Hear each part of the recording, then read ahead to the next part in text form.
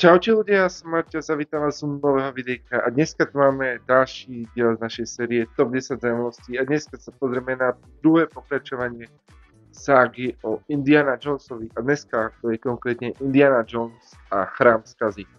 Dúfam, že sa vám video páčiť, že vás tieto zaujímavosti zaujali. Ak áno, dajte like, budem vám ďalší za odberať zvonček, ideme na 500 odberateľov. Užite si toto video a my poďme sa pozrieť na druhý diel Indiana Jones a na zaujímavosti. Režisérom tohto filmu je Steven Spielberg a natáčal sa od, od 8. apríla do 18. septembra roku 1983, takže tento film už je hodne starý a konkrétne sa natáčalo na Sri Lanke, v Anglicku, v Amerike a takisto aj v Číne. Harrison Ford, predstaviteľ práve Indiana Jonesa, si nepotreboval kaskadéra, nechcel kaskadéra a väčšinu akčných scén si točil sám a v jednom momente vystrašil práve režisera Stevena Spielberga a to v momente, keď vošiel na provazový most bez toho, aby o tom v podstate vedeli a bez práve kaskadéra a vďaka tomu spôsobil pár traumatických zážitkov práve všetkým, ale chválu sa Harrisonovi Fordovi nič nestalo a všetko bolo tak, ako malo.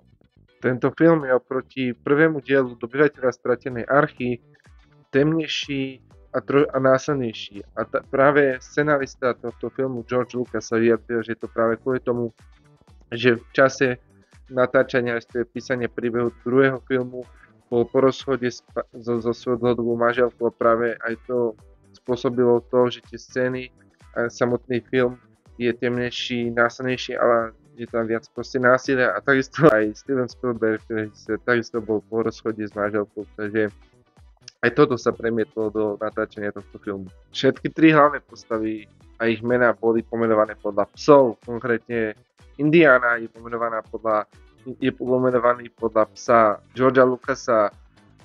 Willy, hlavná ženská predstaviteľka, je pomenovaná podľa psa Stevena Spielberga a Shorta je pomenovaná, pomenovaný podľa psa Wilhelma Huka, takže hlavné postavy majú mená psov hlavných ľudí za kamerou, či už scenáristu, režiséra alebo kameramana. Na začiatku filmu môžeme vidieť e, v Šangaji jeden z klubov, ktorý sa volá Obi-Wan. A samozrejme toto není náhoda a práve tento názov tohto klubu bol inšpirovaný známou filmovou sériou Star Wars. Takže aj takto zasa prechod, respektíve spomenutie inej slávnej filmovej série. Steven Spielberg v roku 1989 prehlásil, že Chrám skazy je najhorší film z celej trilógie v tej dobe a že jediné pozitívum, ktoré mu natáčanie tohto filmu prinieslo, bolo to, že spoznal Kate Winshaw, predstaviteľku Willy a tu si práve aj niekoľko rokov po natáčaní tohto filmu vzal, takže aj taký legendárny scenarista ako Steven Spielberg mal takýto zaujímavý názor na natáčanie tohto filmu.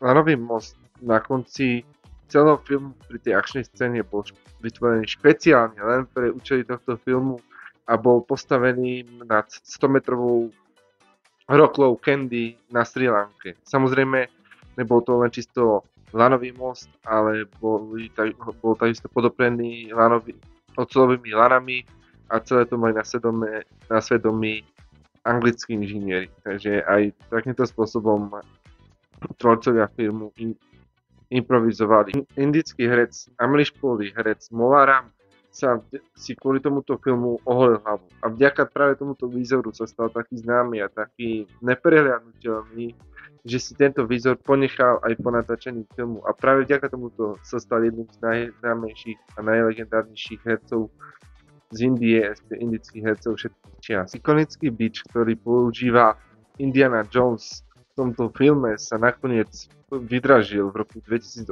za veľmi krásnych 45 tisíc anglických liber, takže je vidieť, že aj taká, takáto rekvizita má obrovskú hodnotu aj také obrovské roky, 30 rokov po natáčení tohto filmu. Pôvodne sa malo natáčať aj v Číne, dokonca v scenári na, tom, na tento film motocyklová naháňačka na samotnom veľkom čínskom múre v Číne a samozrejme čínska komunistická vláda, respektíve propaganda a všeobecne činiteľia túto, naháňačku nedovolili a takisto ako nedo, nedovolili aj samotné natáčanie v Číne. takisto ako mali s tým obrovský problém v Indii a preto väčšina scén, ktoré majú byť v Indii, neboli točené v Indii, ale práve na Sri Lanka. Tak, každopádne to bude pre toto video všetko. Dúfam, že sa vám páčilo. Ak áno, lajkujte ho, zdieľajte ho na svojich sociálnych sieťach.